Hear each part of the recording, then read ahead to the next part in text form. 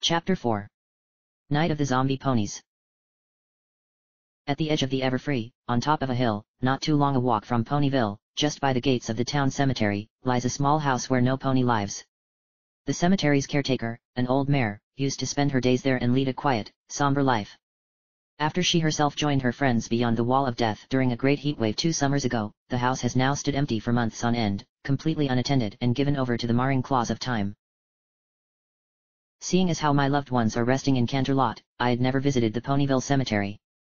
As such, my knowledge of the old home or indeed, the cemetery itself is very limited. Not that I have any intention of visiting my parents' tomb anytime soon, either. I do believe I've had enough of that business when I was investigating their death. I prefer to remember them the way I knew them, and not how they ended up. I never liked cemeteries. I understand their purpose, and why others would regularly visit, it's just not in my taste to do so. I find them depressing. Their atmosphere is downright mortifying. The sight of decaying stone combines with the smell of dying flowers. The quiet, grieving sobbing that you hear emanate from your peers is nothing short of dismal. I simply can't take it. Well, that, and then there's the zombies.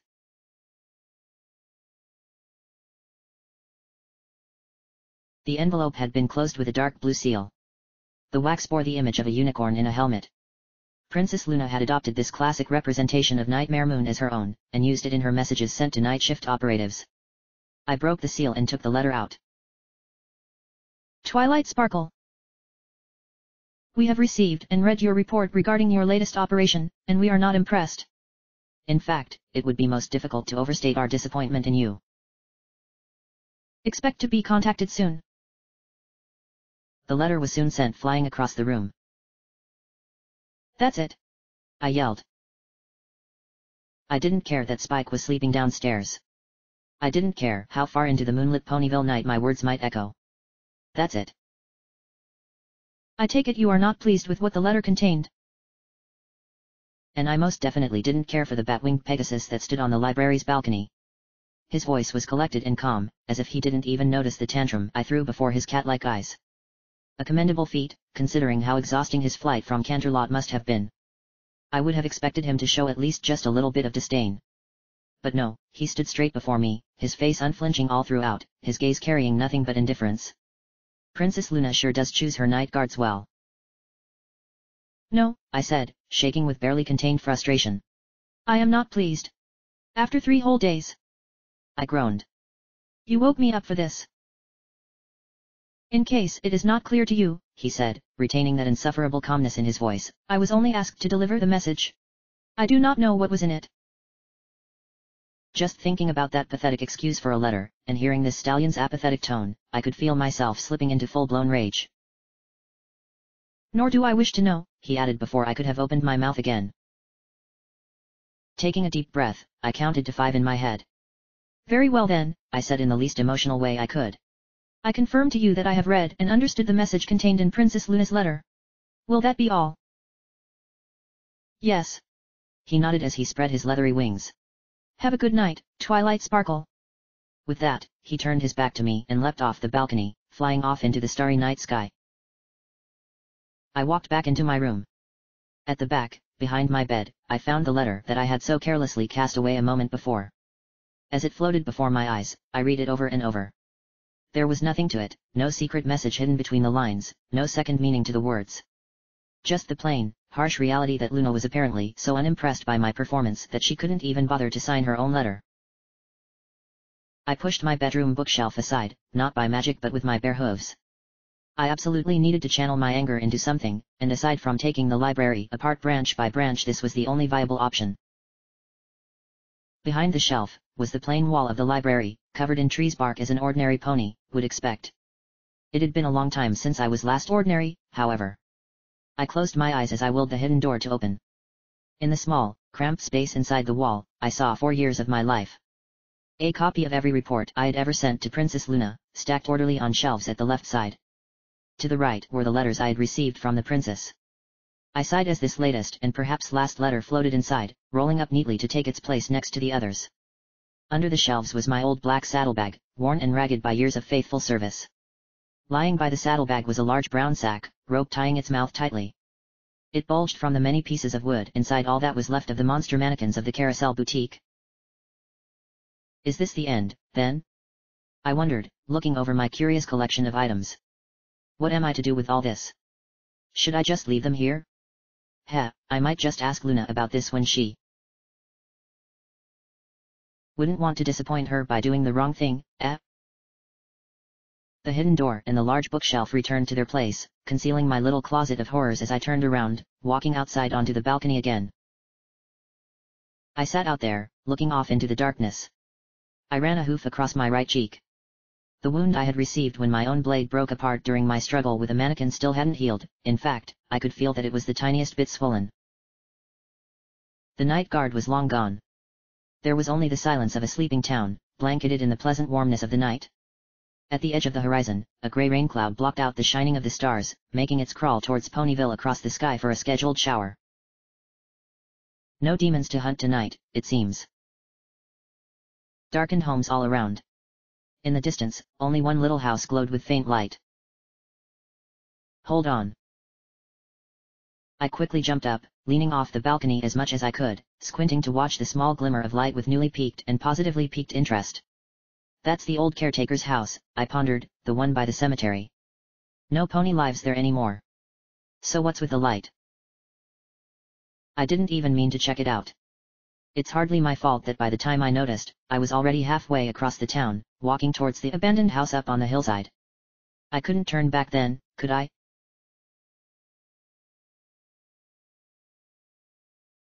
The rain had caught me off guard. I had been so fascinated by the glowing windows of the hillside home that it took the first drops of cold water hitting my back to notice how the dark cloud had crept up on me. It wasn't long before the light rain escalated into a proper shower. I had to separate my soaked fringe and push it to the sides just so it wouldn't obscure my vision. Where my mane wasn't stuck to my coat, it hung in thick strands. And I must say, while I normally do so enjoy the sound of rain hitting the glass of a window, being outside detracted somewhat from the experience. The caretaker's old house was nowhere near as roomy as the home I was used to, it was a cramped collection of a few small rooms pressing against each other in a semi-orderly fashion. Through the window, I could see the main room of the house, lit by the flickering light of many candles. Shelves on the wall had apparently been emptied to make room for these sources of light. A simple spade leaned against a corner, and next to it, an ornate couch of faded green textile and cheap woodwork lay by the wall. The couch was accompanied by an equally aged, small table that stood before it. The table, short enough for some pony to rest their hooves on while lying on the couch, had only a book occupying it, open and lying face down. A closed door opposite to the couch and table, leading to another room, meant the end of my quick sneak peek. Apart from this still life, the room was empty, with nothing but the great white walls and low ceiling on which the light of small flames danced.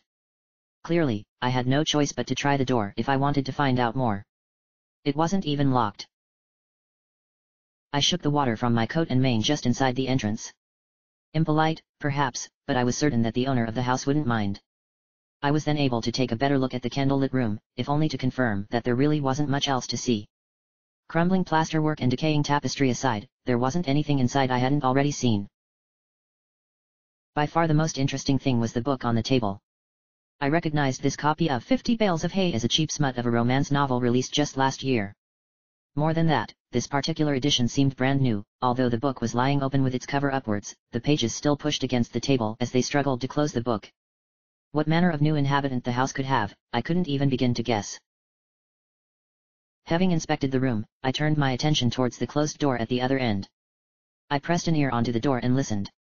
From the other side, I heard a strange noise. It was similar to a sort of metallic scraping, but it was barely audible and muffled by the wooden door. I concentrated my magic into my horn, readying a kinetic projectile. With a quick motion, I swung the door inwards. As it opened, I heard a sudden clattering, as if something metallic was dropped on wood. Save for the gust of air that rushed past me as the door swiftly swayed open, though, there was nothing or no pony unusual inside the dark room. By the left wall, a small desk stood, old as the rest of the furniture in the house. Above it, a small dressing mirror hung from the wall. At the opposite side, an old-fashioned bed lay, with mismatching sheets and a new-looking pillow. A window had its curtains drawn at the far end. For all the candles in the other room that made the house glow in the night, this room had no source of illumination within. Much of the yellowish light that rushed inside was, in turn, blocked out by my own creeping shadow. The glowing of my horn faded. I walked inside. On the desk I saw a unique combination of items, an opened envelope rested on the desk, and next to it was a simple flat rasp, the source of the clattering, perhaps. What a curious relationship these two items must have. Examining the envelope revealed a startling fact, one about which I couldn't decide whether it was more worrying or intriguing. Engraved into the dark blue wax of the broken seal was an image of Nightmare Moon. The letter itself, however, was nowhere to be found.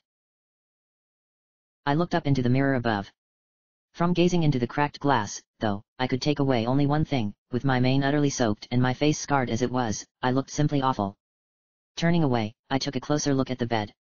The sheets, clearly not belonging in this room, were rumpled and in a complete mess. The pillow, in near perfect condition, was pushed off to the side, the crinkles on the sheet underneath seemed as if its user had dragged their head along the bed, bringing the pillow with them. Either an escape artist was having the night of their life with that novel in the abandoned house of a dead lady and pulled the perfect disappearing act when I walked in, or I had disturbed something far more sinister. If I were doing something in this room, I pondered, and I wanted it kept secret, what would I do when I hear the door opening? I took a few steps backwards and crouched down. Looking under the bed, I found not the world's worst criminal's attempt at hiding, but their handiwork. I gasped as I looked at the body crammed into the small space under the bed, next to some worn saddlebag of leather. I ignored the bag, my horn lit up once again as the body of the mare slid out into the open. I placed her onto the bed. I quickly looked her over. To my horror, when I pushed the unicorn's fiery red mane aside, I found a syringe jammed into the side of her neck. I hesitated for a moment before my instincts got the better of me. I pulled it out to take a closer look. The syringe was empty. I pulled the sheet from under the mare and wrapped it carefully around her neck to stop the resulting bleeding. The syringe floated onto the desk. I pressed my ear to her chest, and found her heart still beating, although at an unnaturally slow pace. Her eyes still closed, the mare opened her mouth and gasped for air. For a moment, I thought she had woken up, but she made no further movements. I looked at the mare's cutie mark, attempting to identify her. The picture of an icicle rang no bells, however. It was then that I noticed the most frightening thing. Crawling up the bare floor by the bed, there was a new shadow. I turned around in an instant, preparing a knockdown spell. The dim light from the other room silhouetted a large earth pony, standing in the doorway. The massive stallion had to lower his head a little to fit through when he walked inside. He then looked at me and smiled. Pay no attention to that mare on the bed, he spoke in a calm, deep voice. Miss Day is quite all right. Who are you? I asked, ready to fire. What a rude thing to ask, he said, considering that it was you who came to me. He ran his tongue about in his mouth, as if licking his teeth. Although, I am glad you made it. I was beginning to wonder if I lit all those candles for nothing. He put up a hoof, revealing a piece of paper. The missing letter, no doubt. Rainy Day, he began reading it out, we hereby assign you to, blah blah blah, deal with the undead menace as per our previous instructions, hmm, pay a visit to Agent Twilight Sparkle and await further instructions. He looked up at me inquisitively. Twilight Sparkle, I assume. You did not answer my question, I said, my horn glowing bright. Oh, please, Miss Sparkle, look at this place. He gestured at the old walls and the cracked ceiling. You're not going to fire that spell indoors, are you? Try me. Very well, if you truly feel so threatened by my presence as to be unable to have a normal conversation, allow me to make this easier for you. The stallion then turned his back towards me. His coat was dark grey, almost black but not quite.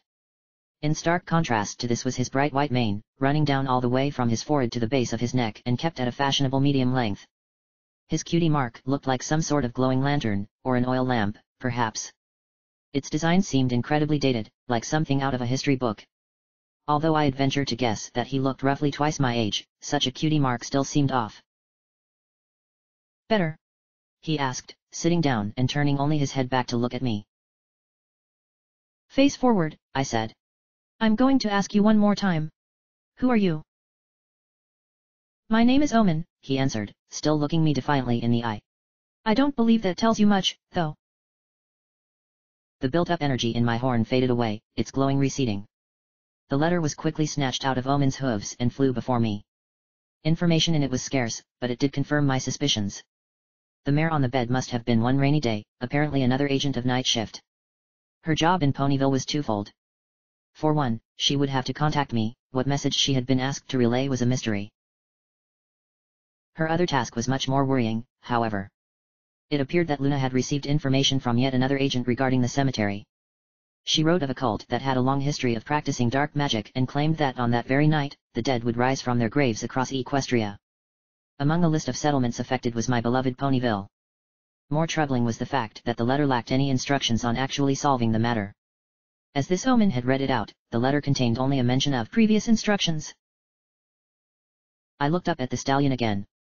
He raised an eyebrow. His face bore the faintest hint of a smile. Children of the night. I asked. You're all insane. Nightmare Moon is dead. You cannot bring her back. Must you jump to conclusions? Omen rolled his eyes. You find a sedated mare in a letter talking about cultists bringing the dead back to life, and your first assumption upon seeing a particularly handsome stallion is that he must be one of the crazies. Aren't you? I shudder at the suggestion. The very name sends shivers down my spine. Not out of fear, mind. He grinned. I can assure you, my arrival here on this particular night is a mere unlucky coincidence. He paused for a moment. I did incapacitate Miss Day, though, just to get that off my chest. Do elaborate. It may be hard to believe, but I am also one of Luna's many acquaintances, just like you and she are.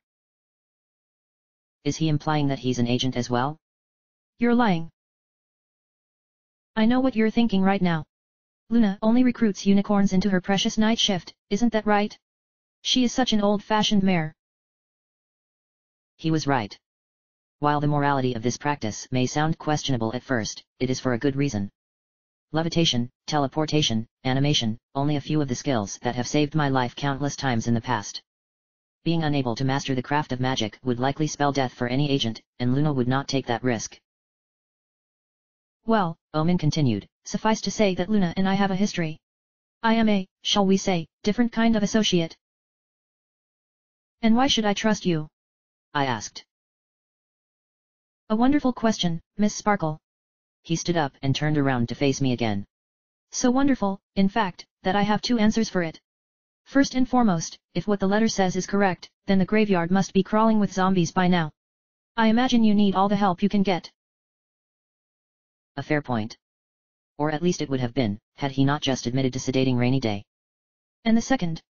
I asked. Because I have information regarding the death of your parents. What? Indeed, Miss Sparkle. It is a matter about which I would very much like to talk about. I kept my eyes set on Omen. The leather bag I had seen under the bed floated up beside me and opened up.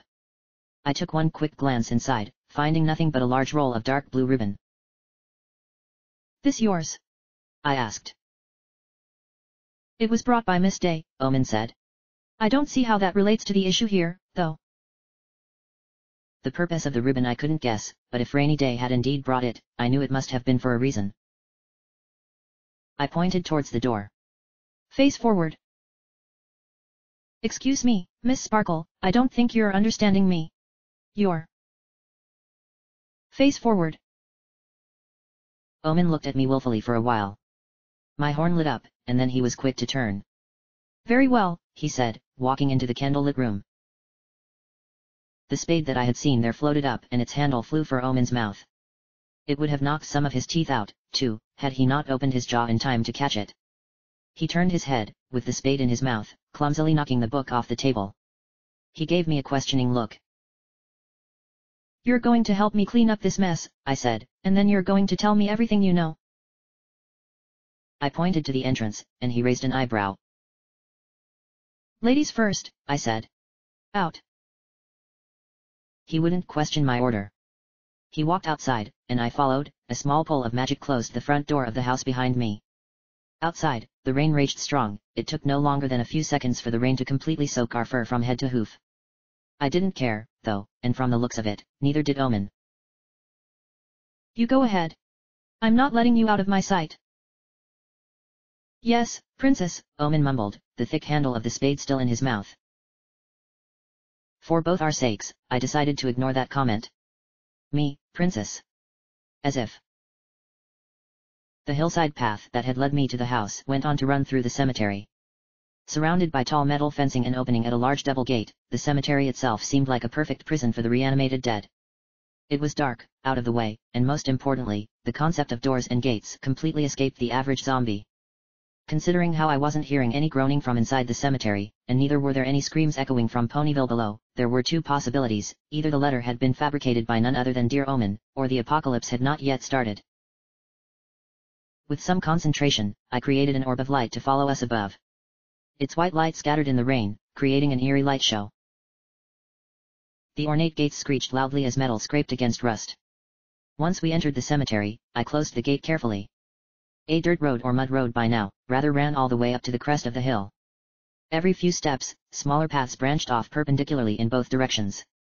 The graves between these paths gave the cemetery an orderly, grid-like layout. I sent Omen forward on the main road, up the hill, to see if he would attract any brain-hungry residents. I followed up behind him, just close enough to be able to see him through the rain. I looked downhill at the cemetery. Say, Omen, where are those zombies? They say words have magical powers. I've also been told that I have a very special way with words. I pondered this conundrum as the earth began shaking under my hooves and muffled groans sounded from the soaked graves in every direction. So tell me, Miss Sparkle, Omen said, spitting the spade out, how do you propose we do this? I can't see a pretty lady like you bursting skulls open to knock their brains around. What an odd and potentially dangerous stallion. Still, he hit the nail on the head, damaging the brain was the surefire method of disabling a zombie for good. Not this time, however. That's not what we're going to do. We are going to avoid any unnecessary damage to the bodies at all cost. You got that? Only gentle whacks with the spade, then. He asked as he flipped the instrument into his mouth again. Yes. Crack a skull, and I'm going to crack yours. I said. How droll, he chortled. Don't you want me to tell you about? Focus on the task, I interrupted.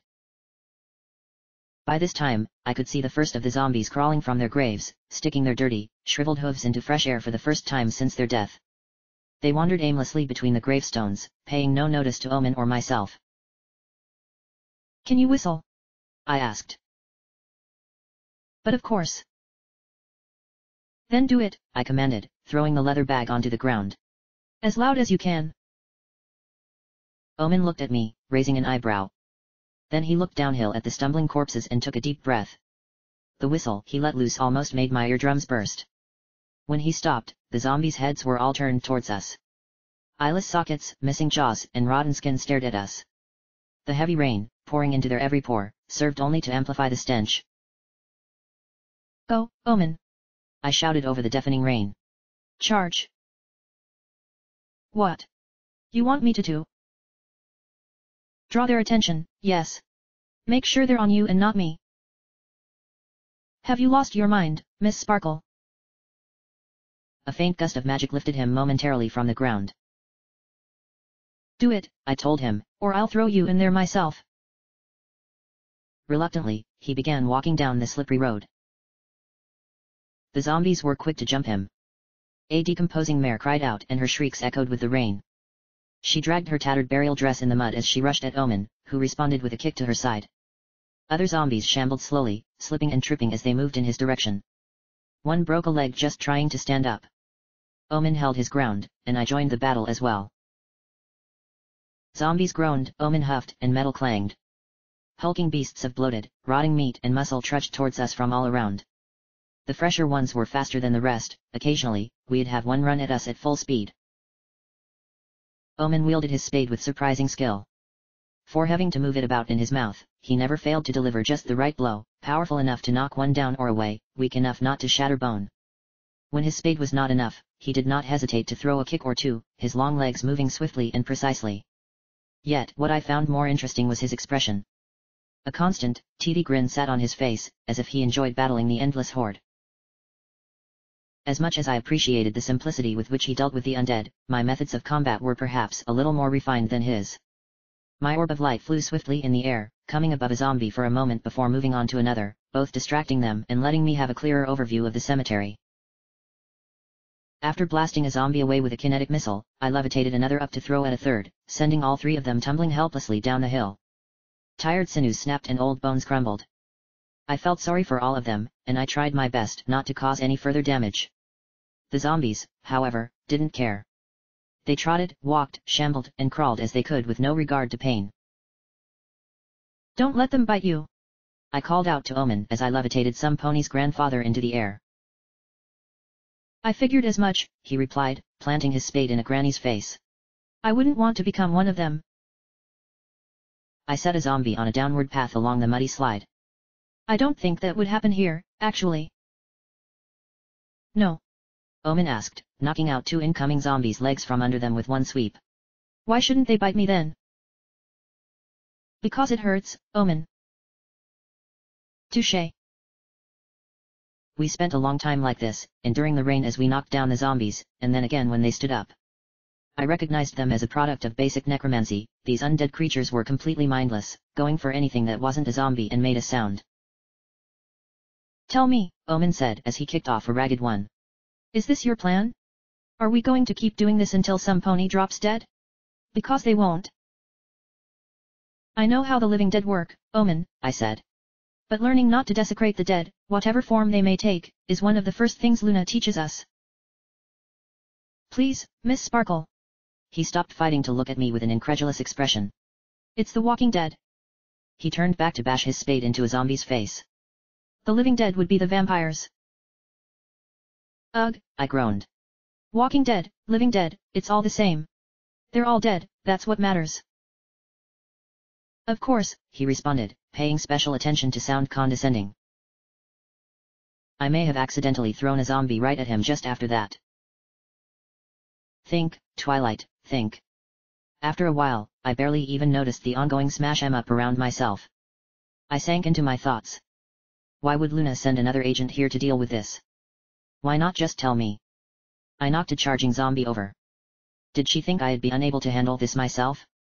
Was she really so disappointed in me? Omen kicked a zombie in my direction. A tuft of magic caught it midair and yanked it right back. Who is this Omen? Is he a cultist? He knows too much about night shift for that. Does he really know Luna? Or did he break Rainy Day to get that information before sedating her? And my parents? I would hate to sound ungrateful for this chance you've given me to prove myself, Omen said again, interrupting my train of thought, but this is getting ridiculous. His movements were getting stronger and he kept applying more and more force in his swings and kicks. He was getting impatient, and I couldn't decide whether that fact was for the better or worse. Luna would never tell an agent to hurt the corpses. So how can we stop them now? It's impossible. Unless... I finally realized what Rainy Day had been sent here to do. Her black bag flew up to me and I flipped its straps open. The roll of blue ribbon waited for me inside. Engulfed in purple glow, it floated outside. I took a good look at it.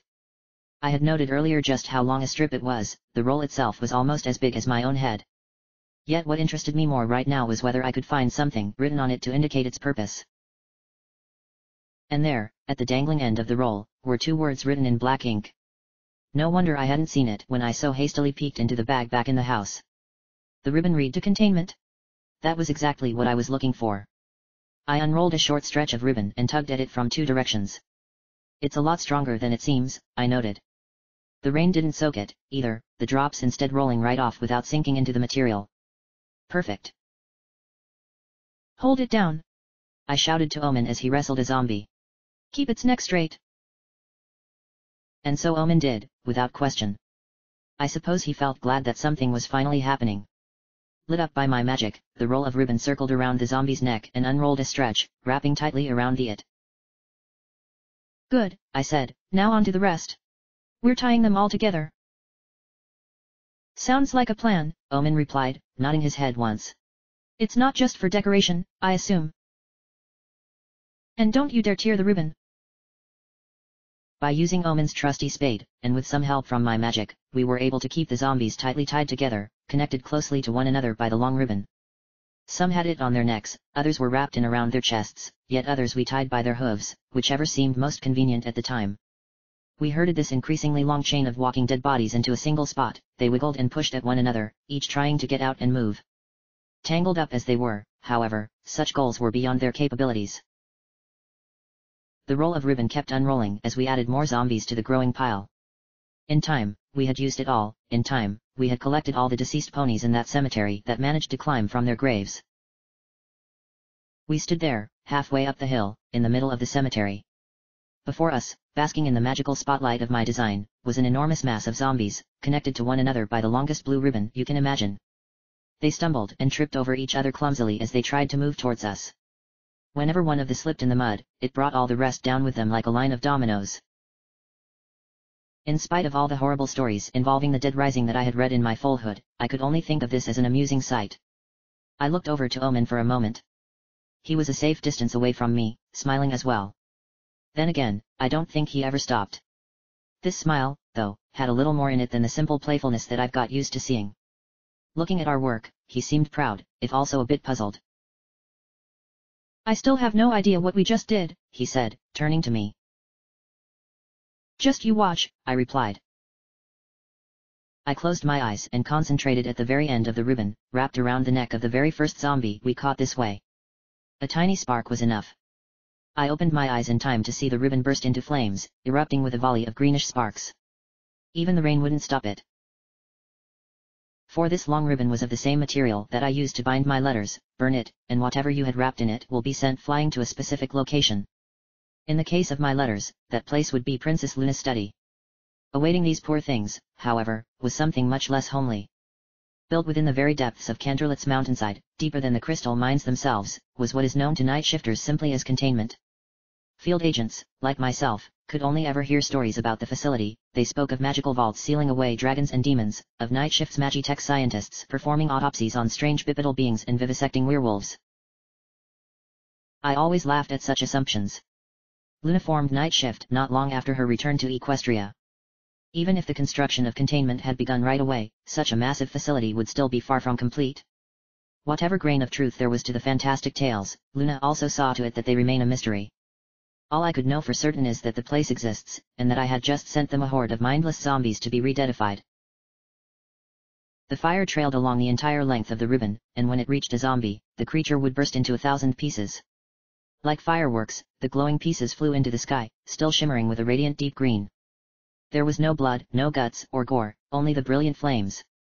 The fire reached the second zombie, and then third, fourth. One by one, all of them disappeared, each leaving us in a lustrous explosion of green and red. I closed my eyes again and took a deep breath. I held it in for a while, appreciating the clean air. Then I exhaled, sighing, mentally patting myself on the back for a job well done. Crisis averted. So, Miss Sparkle, Omen's voice came from right beside me, making me jump. Remind me, why hasn't this revolutionized transportation yet? Because the ribbon material is extremely hard and expensive to produce, I answered. That roll we just used up? It was three times as much as I had ever seen in my entire life. I would also assume that things don't usually come out alive on the other end. No, I said. It's impossible to transfer a living being like this. My point exactly, he said with a smile. I was puzzled by the statement for a moment. Then the realization hit me, and I shook my head as I chuckled to myself. Walking Dead, right, I said, admitting defeat. Well, he continued, I have done as you asked. I helped you sort out the undead menace. All I ask in return is that you listen to what I have to say. Oh no, I corrected him, you don't get to make requests. You see, I have every intention of taking you in as some pony who clearly knows too much. I bet Luna would love to find out how. But I've already told you. I know Luna. No pony knows Luna, I retorted. Omen sat silently for a while, staring me in the eye. I don't think he even blinked once. Don't you want to know about your parents? He asked. Don't you dare mention my parents. There was a gust of wind, and the rain became stronger than ever. Although Omen was right in front of me, I could barely see him. He, on the other hoof, didn't even flinch at the sudden burst of heavy downpour. The papers were full of it, he said. Twilight Velvet, mother of two, begins seeing a lover. Her loving husband, Nightlight finds out. Shut up, I whispered. I don't think he heard me. He snaps. He finds the two of them, takes a knife from the kitchen end, Shut up. I yelled inarticulately, blasting him away with a massive burst of magic. He landed in the mud with a splash, the rain burying him further. I walked up to him and watched him struggle to get up as he hissed in pain from the impact. Day, don't you understand? He stammered, slipping as he tried to stand up again. I want to help you find out who did it. I know who did it, I whispered, clenching my teeth in an attempt to restrain myself from hurting him further. I found them, you know. All three of them, caked in blood on the bedroom floor. Was that not in the papers? And then what did you do, Miss Sparkle? He asked, finally standing up. I tried to find out who did it, I said. So did my brother. Ah, he said victoriously, but didn't you just say you knew who did it? I stepped back. My hind legs went numb. I sat down onto the ground. I couldn't believe it, I admitted. My mother. I choked on my words. Mum and Dad would never. They aren't. What did you find, Miss Sparkle? Walls, everywhere, I replied. I was stone-walled on all fronts. Yet I kept looking. But night shift found you sooner than you found them, he said. Isn't that right? Luna sought me out. She offered me a spot. But you haven't answered the most important question yet. What did you find? I found night shift. And what did night shift find? Omen asked. They had already investigated the case, I said. It was exactly what it looked like. Luna told me personally. I stayed silent for a moment, reflecting on my past years. I've barely even slept since. At that point, I was no longer looking at Omen, but right through him. He walked out of view. I either didn't even notice, or I didn't care enough to move a muscle. It's hard to tell in hindsight. As I sat there, paralyzed by memory, the rain finally stopped. The constant sound of raindrops blasting the wet ground was replaced by a ringing by my ears. It figures the rain would stop now, right after we're done. I could only commend the weather engineers of Cloudsdale, they sure did have their timing down pat the clouds above dissipated in a matter of moments, letting in the bright light of the moon and the stars. The orb of light that had been following me about in the air descended and its glow lost much of its intensity. There was no further need for such strong light.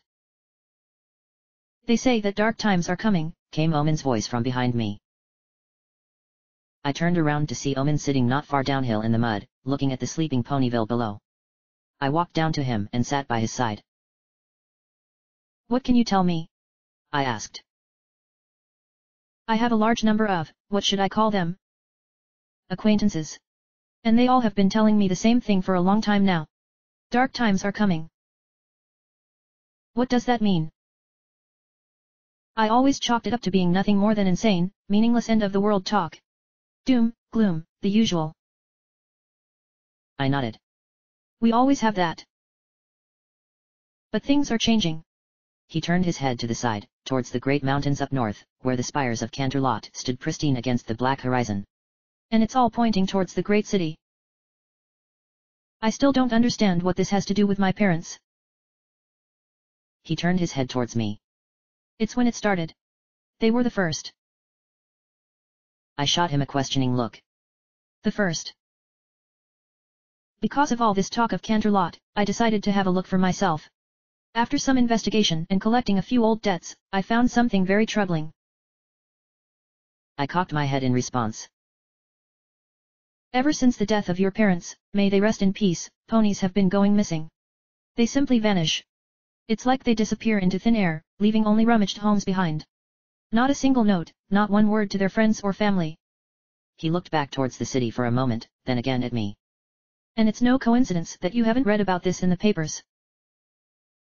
I could barely believe a word. Are you suggesting that they're being murdered? Precisely, he said, nodding his head. I couldn't find a discernible pattern behind the string of disappearances, but they've definitely been happening. They still are. And there is one more thing. What is it? I leaned closer. Our dear Princess Luna always gets involved. No I sat back. No way. Haven't you night shifters noticed anything unusual happening in our lovely capital? Anything that doesn't quite add up? The vampire Vinyl Scratch's mention of bad blood sprung to mind. Thinking of it, I haven't heard Luna respond on the matter. Nothing at all, I said. Omen looked piercingly in my eyes and lifted a brow. I stood his stare. You aren't an easy mare to work with, Miss Sparkle. He sighed. But you have to face the facts. There are strange things out there, more and even stranger than before. You have to see that. Doomsday cults have been expanding, talking about a new age of darkness. They are much more fickle than they have been before. He gestured at the ruined graves around us. As shown by the attached figure. I have no reason to trust you. Is there anything I can do to change that? Let's take it from the top, then, I said. Omen sure is a sorry name for a pony. What is your real name? He frowned at my question, clearly not pleased. But then he looked up, chuckling quietly. Now that, Miss Sparkle, he said as he turned back towards me, that would be telling. Very well, Omen. I nodded. Let me phrase my question a little differently. Who are you? I've lost track of how many times I've been asked that question, he said, putting a muddy hoof to his chin. Oh, please. I rolled my eyes. Quit the act. You aren't that old. Aren't I? He asked with a cheeky grin. I'm older than I look, you know. Who are you? I repeated impatiently. I am many things to many ponies, he said. Right now, first and foremost, I am concerned. For you, and for Princess Luna. I shook my head in disbelief. Are you trying to imply that Luna is behind the murders? You really think Nightmare Moon is about to return? No, he answered. That would make me insane, wouldn't it? Yet I do not dismiss the possibility. You know what they say about things which can eternal lie. You're insane, I deduced. What about Rainy Day? As terrible as I feel about what I did to her, it was necessary. I couldn't allow some other agent of Luna snooping around before I met you. I wouldn't want to be seen by any pony but yourself, I hope you understand that. What's going to happen to her, now that you had your chance to talk to me? She's going to wake up, approximately in 16 hours, at a warm and cozy room of the Manehattan Hospital, unaware of what happened tonight. And tell me, if you've already found out all this without my help, why come to me now? Simply because I cannot progress further. You, on the other hoof. I may not know you, but I do know of you, Miss Sparkle. You're Celestia's personal student, one of Luna's top agents, and the bearer of the element of magic. You can get where I can't. Suppose, just for a second, that I believe anything you just told me, Omen. What would you have me do? All I can ask is that you continue pursuing this matter to the best of your ability, he answered. Then consider the following. What if I tell Luna about everything that transpired? About Rainy Day, about you and your accusations? What if I don't believe you? Don't you?